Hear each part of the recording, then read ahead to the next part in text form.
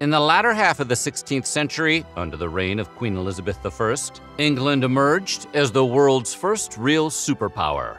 Elizabethan England also saw the birth of an aristocratic etiquette so bizarre, it makes even the most stringent and alien rituals of historical decorum seem totally reasonable by comparison.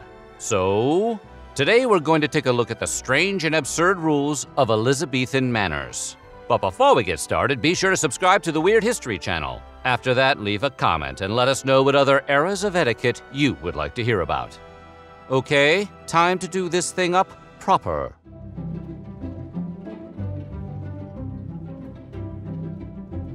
The Elizabethan era stretched from 1558 to 1603. During that period of English history, proper manners were more than just how you addressed higher classes or how you picked up your fork.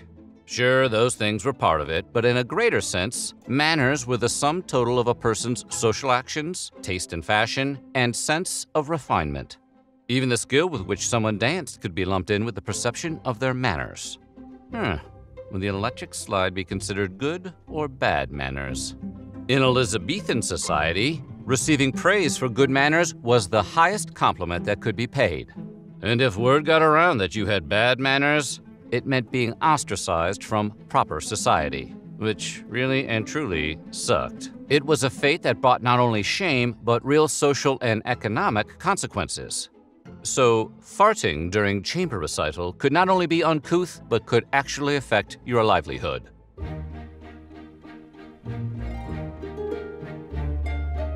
We chiefly associate the rigid manners of the Elizabethan era with the upper class.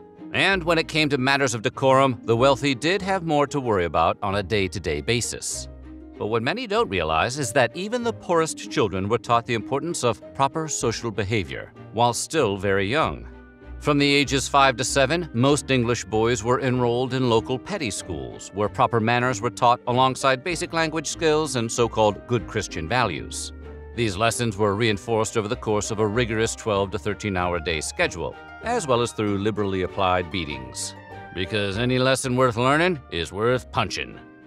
This intense indoctrination to basic Elizabethan etiquette was intended to help the young not only conform to society, but also respect the rigid formula of manners the nobility followed.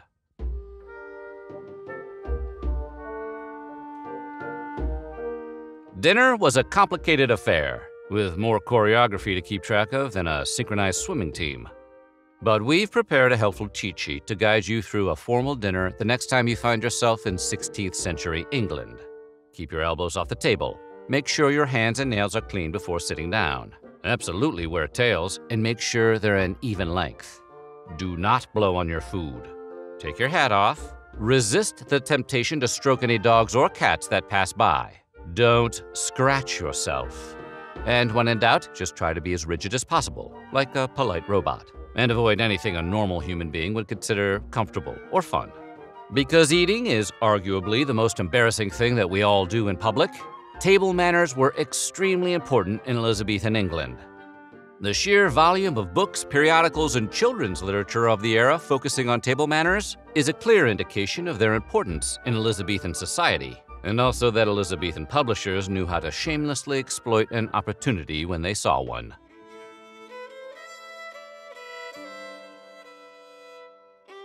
In Elizabethan England, there were piles of rules governing the ways in which men could interact with each other which is not totally unusual. Many male activities have rules, like rugby. But there were even more rules that dictated how a man would behave when meeting a woman. And there were also a ton of rules informing women how they could speak and act around other women. Strangely, though, there was almost nothing in the way of rules to guide women in how to interact with men in public. This may be due to the assumption that proper women would only need to interact with other women, which was considered ideal behavior. Ideals aside, women obviously had to interact with dudes from time to time, and the lack of regulation made these interactions, at best, kind of awkward. At worst, Elizabethan society put the power largely in the hands of the man, which meant a woman had to either let him play out the script or risk being shunned because of her bad manners.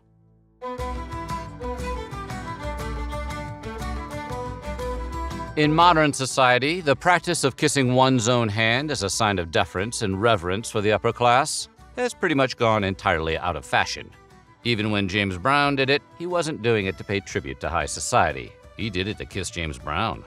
During the height of Queen Elizabeth's rule, however, it was highly encouraged. In fact, forgetting to kiss your hand made you look like a graceless jerk.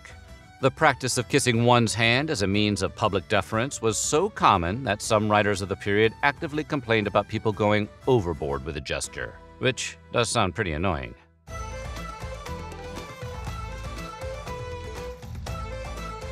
Anytime someone found themselves in the presence of a cultural superior, good Elizabethan taste dictated that they remove their hat.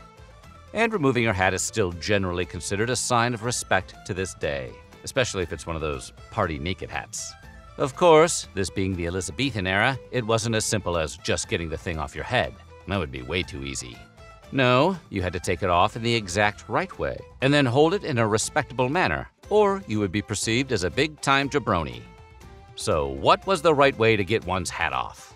Well, gentlemen needed to grab their hat by the brim with their right hand and then drop their arm directly. Then they had to pretend to kiss their left hand because that was the hand believed to belong to the heart. Boy, these people were really focused on the hand kissing. Once the hat was off, it had to be held facing the right thigh so as to cover up a potentially sweaty hat band.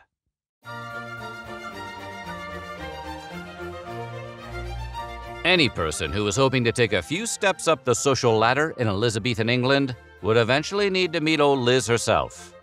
There was, of course, a comedically rigid series of steps required to display your respect for the Queen. After all, you can't just go into a royal audience and start telling Her Majesty knock knock jokes. But on second thought, maybe you could. These rules were not just serving the Queen's inflated ego, however, they were intended to keep the monarch safe. So when you approached the Queen, you had to make sure that you kept your hands down at your sides. If you were wearing a cloak or riding cape, it was important to see that it was an even length on both sides. And when you knelt before the Queen, to grab it with your hands and hold it slightly aloft. This seemingly irrational and ostentatious display was actually meant to assure the monarch and her extremely zealous and violent guards that visitors weren't trying to hide a weapon. The various bows were meant to not only display their reverence, but also to show the guards you weren't packing ye old heat. In Elizabethan England, the right side was considered a place of honor, while the left side was for the masses. When meeting the Queen for the first time, visitors were compelled to kneel several times after entering the room before actually reaching the monarch's presence. At each bow, people were instructed to keep the Queen on their right side, lest she be led to believe that their visitor had notions of superiority. And while you might think the Queen would always occupy center stage, the monarch was often seated just to the right of center at banquets and formal functions, in order to signify her prominent place in society.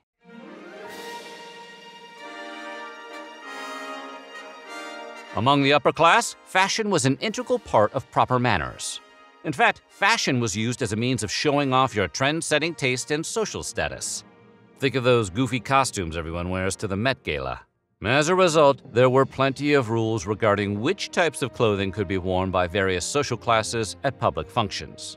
Royalty, for example, were the only people allowed to wear clothes trimmed with fur, because fur is extremely kingly. For the nobility, silk and velvet in bright colors symbolized your family's prosperity, and they didn't detract from the monarch's pelts, which is something you definitely didn't want to do.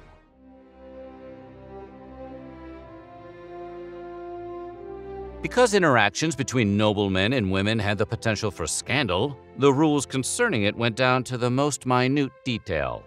They even went so far as to instruct young ladies on where they should direct their eyes during social events.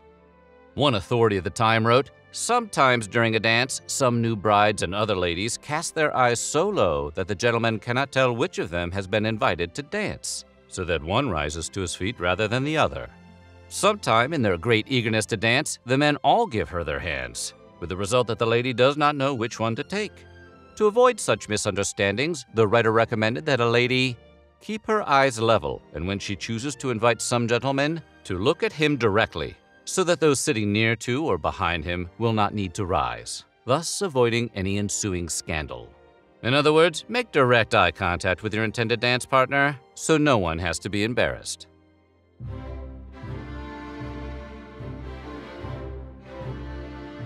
Men who entered the same room as royalty were often compelled to perform a kind of one person dance of loyalty. which may be a rule we should bring back.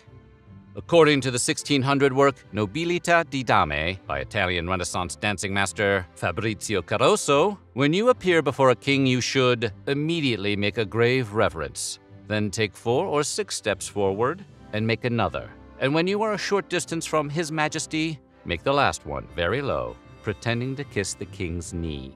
So you were basically expected to do the boot scoot and boogie and place a fake smooch on the king's kneecap. Silly? Maybe, but there's no greater flex than requiring everyone who meets you to do a little jig before they're allowed to speak.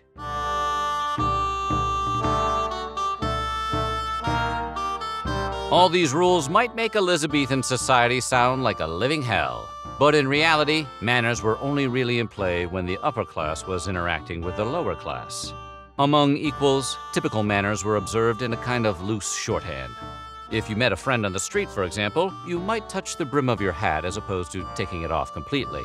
People who observed manners with too much enthusiasm risked ridicule. According to one roughly contemporary writer, those who make too many reverences lose just as much favor in the eyes of others as they think to gain, for their blandishments only displease and bore them. And that's good advice in any era. So, what do you think?